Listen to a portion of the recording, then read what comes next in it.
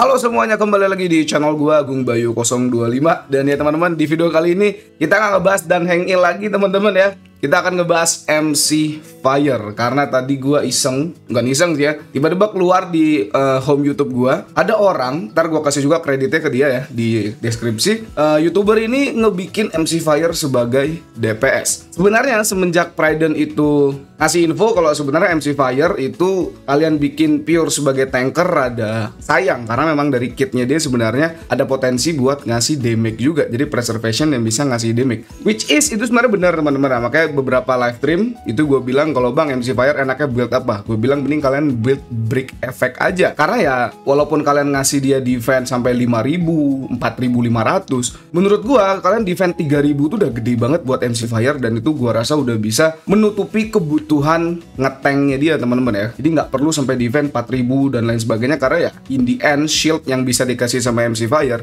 itu kecil banget ya. Kalian bisa lihat di sini tuh ya setiap ngasih shield tuh cuman segini segini segini aja teman-teman. Kalau kalian bandingin sama shieldnya Gepard yang sampai penuh ini jauh banget perbandingannya guys ya.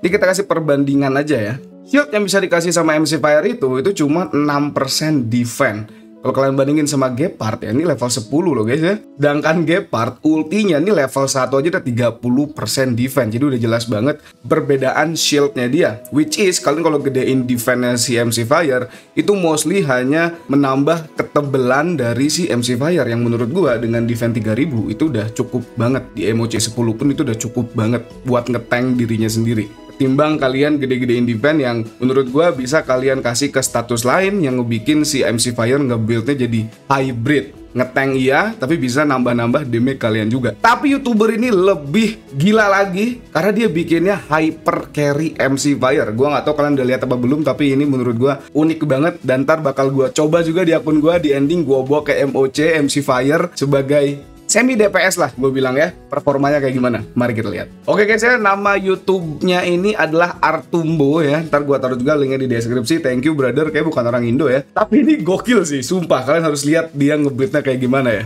Uh, jadi itu dia bikin Trailblaze Power sebagai main DPS-nya dia. Jadi dia bikin tim Hyper Carry MC Fire. Ini dua minggu yang lalu. Ini keren sih. Kalian lihat ya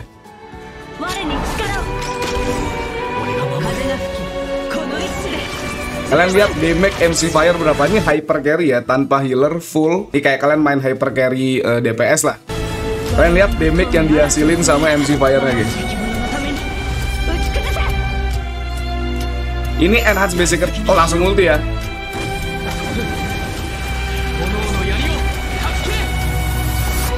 Jebret! 245.000 ini di MOC bukan SU jadi menurut gue ini valid banget. Ini sangat-sangat unik dan gue berkepikiran iya ya kenapa kita nggak nyoba bikin kayak gini? Jadi ini sangat amat unik teman-teman ya. Gokil nih Artumbo respect ya. Kita subscribe dulu lah subscribe dulu lah. Enhance basic attack-nya 43.000 lihat tuh ya. Tapi ini udah di buff sama 3 unit teman-teman ya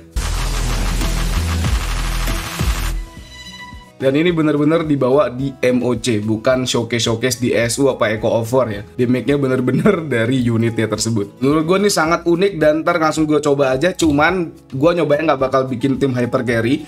Pertama karena Yukong dan Asta gue nggak gue build, uh, lebih tepatnya cuma level 60. Jadi kalau dibawa ke MOC dia bakal mati duluan, of course jadi nggak akan bisa bikin tim hyper carry. Gue bakal bawa MC Fire di percobaan gue sebagai shielder biasa aja. Cuman kita lihat performanya kalau buildnya DPS apakah dia masih bisa ngetank seperti biasa? Dan apakah damage-nya bisa nambah-nambah damage output dari tim kalian? Uh, semua buffnya dimasukin ke dia sekali ulti langsung rata bro. Jebret! 118 ribu. Uff gila ya.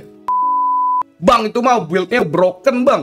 Makanya damage-nya bisa segitu Pasti investasinya mahal banget Actually guys, enggak ya. Kalian lihat ini guys, build-nya standar banget kata gue. Dan menurut gue masih sangat amat bisa di-achieve sama siapa pun. Karena enggak, ya enggak sebroken itu guys. Tuh, MC Fire attack-nya cuma 2000. Bayangin attack cuma 2000 teman-teman. Defense-nya 2600. Crit rate, crit damage cuma 71, 127. Ini enggak, enggak yang mahal-mahal gimana-gimana gen.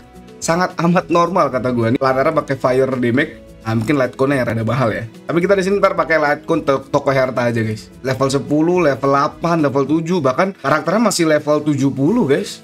bahkan masih level 70 ya, belum dimentokin. Untuk relik kesehatan di sini pakai mix ya, dua fire, dua musketeer. Katanya dia mau lebih bagusnya lebih pakai di empat fire. Cuman di sini gue malah pakai empat musketeer karena gue nggak ngebuild yang fire. Dan dia pakai rutilan arena, kayak buat maksimalin enhance basic attack-nya ya. Tapi kalau gue ya, kayak gue bakal pakai Salsoto aja. Karena untuk eksperimen kayak gini gue nggak mau terlalu banyak invest ya. Ntar kita lihat kayak gimana build MC Fire gue. Anyway, thank you ya. Shoutout buat Artumbo untuk video ini bagus dan keren banget kata gue teman-teman. Sekarang kita cek buat akun gue ya. Oke, langsung aja kita lihat ini udah gua setting MC Fire gua sekarang bentukannya kayak gini teman-teman. Jebret ya. Attacknya 2800 defense-nya cuma 1500 ini kalau gua pakai LC nya Gepard mungkin 2000-an nyentuh lah ya atau 1900 uh, speed gua 117 crit rate crit damage-nya 57 111 gua juga pakai fire damage di sini. Dan kita lihat performanya. Gua nggak mainin MC Fire sebagai hyper carry ya karena gue belum build Yukong dan Asta gue nah, jadi gue make dia sebagai shielder pada umumnya.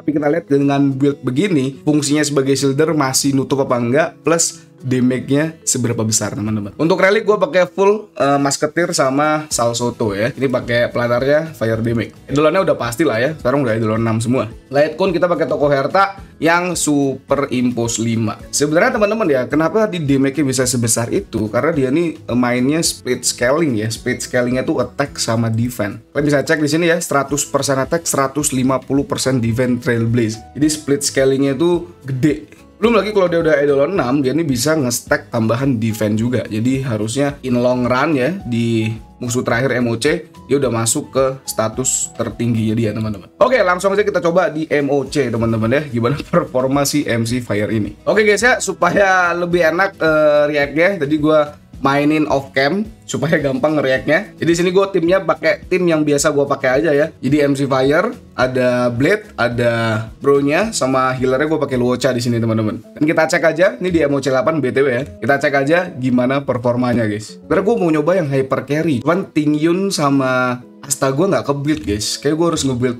mereka berdua sih ya. Harmoni yang worth it worth it aja di build guys. Oke, di sini kita pakai teknik-teknik dulu ya. Oke, di sini gue langsung make skillnya bronya buat ngetes enhance basic attack-nya dari CMC Fire ya. Gue kasih buff, kita cek berapa damage-nya enhance basic attack. Jebret 26.000, lumayan banget guys.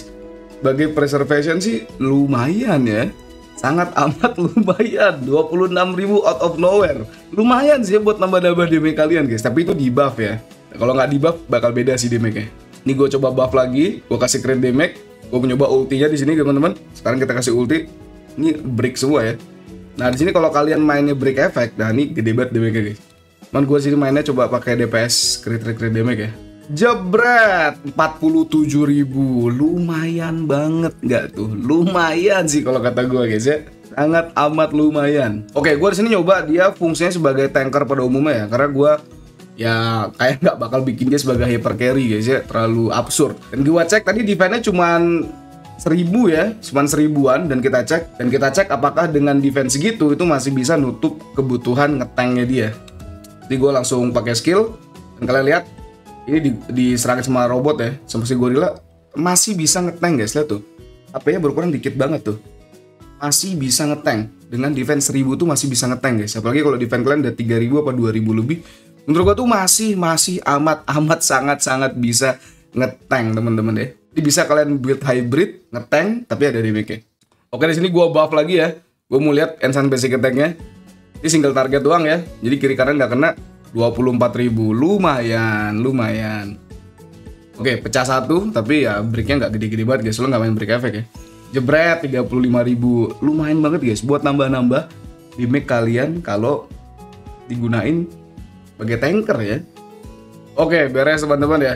Masih masih sangat-sangat bisa digunakan sebagai tanker juga masih oke, tapi damage-nya juga ada. Ini gue sih sangat rekomend buat teman-teman yang mau nyoba build kayak gini ya. Ketimbang kalian cuman fokus ke defense-nya dia aja yang menurut gue itu worthless karena ya Lele tadi dia masih bisa bertahan, masih bisa ngetank walaupun defense-nya hanya 1500 tapi HP-nya merada gede ya 3700. Tapi at least ya kalian bisa bertahan guys. Kalian bisa bertahan kalian bisa menyerang juga dan gak harus di build critical kalau kata gue mungkin next gue akan coba bikin MC Fire yang uh, versi ngebreak ya. Gue rasa tuh jauh lebih friendly buat di buildnya juga. Jadi kalian nggak perlu fokus ke CR CDM ya. Cuman bisa fokus ke attack defense main scaling dari skillnya dia. Plus kalian bisa fokus ke break effect. Menurut gue tuh juga salah satu opsi yang sangat-sangat menarik buat dicoba. Tapi ya kalian bisa lihat ya dengan status begini dia bisa ngetek, dia bisa dia bisa defend juga. Menarik sekali ya. Ini preservation yang sangat unik sebenarnya ya.